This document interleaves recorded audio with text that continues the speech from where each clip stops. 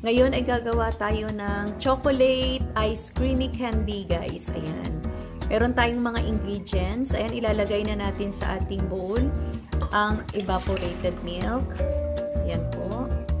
One can ang gagamitin natin. And then, yung ating all-purpose cream. Yung ating condensed milk. Any brand po, pwede. Isang can po siya, ginamit namin.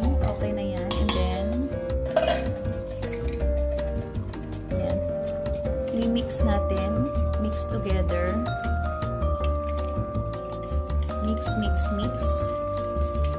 Hanggang sa mag-well blend na sila. Kahit na anong chocolate bar guys pwede. Tapos ilalagay nyo dun sa plastic ng ice candy. And then, medyo mainit-init yung tubig para matunaw yung uh, chocolate. Ayan guys. So, okay na siya. And then, next step natin ay lalagay na natin yung mixture natin kanina. Ayan guys. Mga 2 scoop. Oops. I think that's enough. Mm. Creamy.